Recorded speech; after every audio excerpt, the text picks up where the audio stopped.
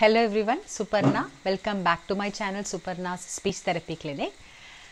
In my last video, I had discussed or I had shared uh, like my knowledge on the autism spectrum disorders. What are the general characteristic features that you see in autism spectrum disorders? So in my last video, I had already mentioned that there are three main features uh, by which you can distinguish or you can identify or you can diagnose autism spectrum disorders.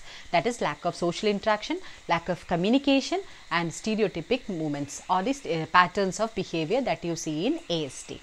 So what today what I am going to see is I am going to tell you in detail about the social skills or the social uh, like uh, the deficits that you see in them, the communicated deficits you see in them and the patterns of behavior or the what are the differences in patterns of behavior that you see in autism spectrum disorders.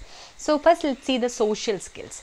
So basically the children they don't know how to interact like they uh, if if at all they want to interact they don't know how to interact with others. That is a basic problem in social interaction that you see in children with ASD so basically they don't know to uh, like by first birthday they, they don't respond to name call. Usually by 10 months or 11 months children start responding to their name call.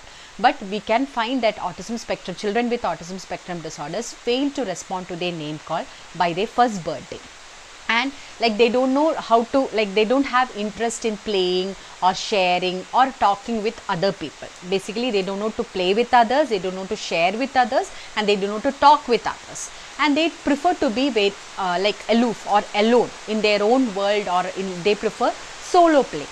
And they avoid or reject physical contact and they avoid eye contact and if they are upset in any case if they are upset they don't like to be consoled or comforted. They don't find comfort or console in the presence of another person if they are upset. And they don't understand emotions. They, they don't know their own emotions and they can't express they can't understand others emotions also.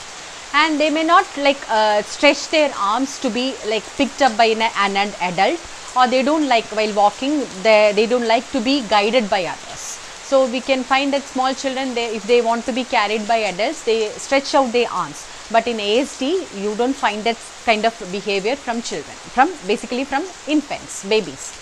So these are the social skills or the social deficits that you see in ASD.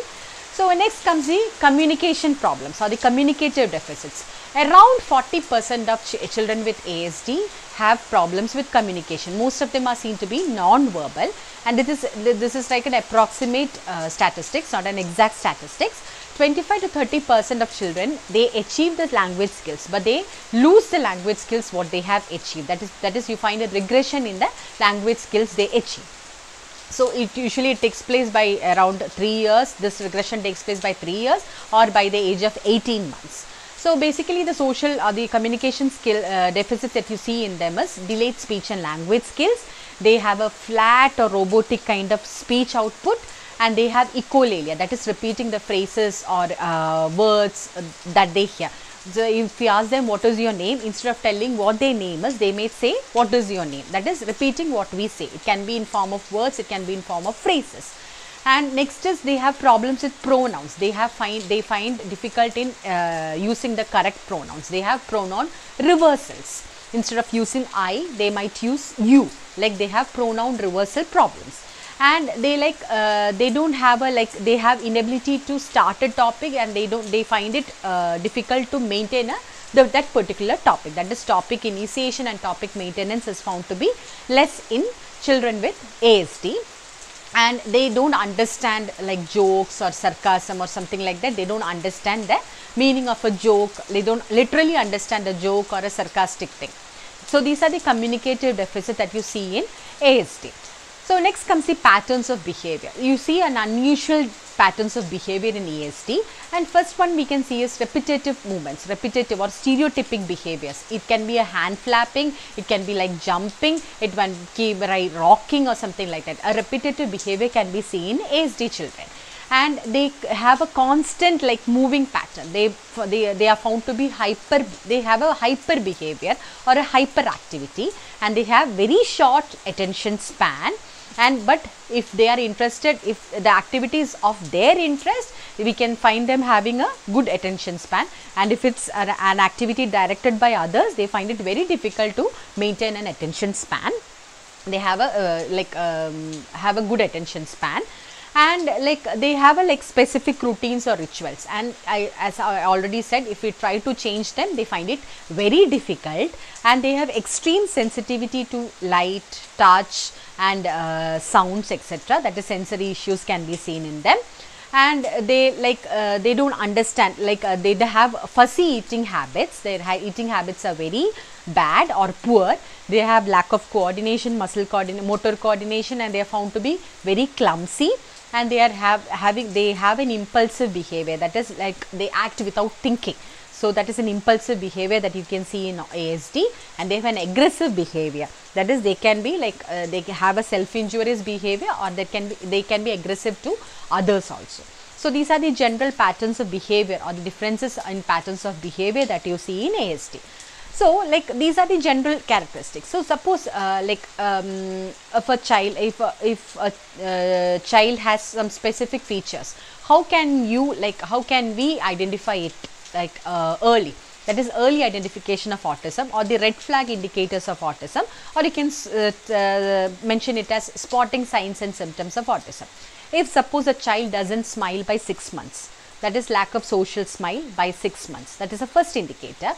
Second one is the child doesn't understand the facial expressions. Child fails to imitate the facial expressions by around 9 months and child doesn't coo, uh, cooing or babbling is absent by 12 months.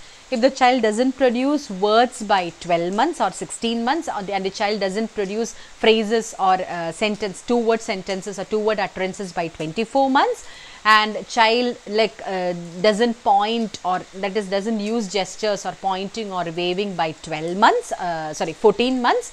And if the child doesn't uh, like understand what pretend players by 14 months uh, by 18 months you can see say that these are the red flag indicators or the spotting signs and symptoms or the identifiable uh, symptoms that can that you can see in ASD so, these are the general characteristic features uh, like with the divided form like social deficits, communicative deficits and the patterns of behavior. So, if you want to uh, know anything in detail, you can mention in the comment box. If you have any queries, you can um, post in the comment box or comment in the uh, inbox and if it is any patient related anything you can either mail me or you can inbox me in my Facebook page Suparna Speech Therapy Clinic. So, please like, share and subscribe my channel Suparna's Speech Therapy Clinic. Thank you.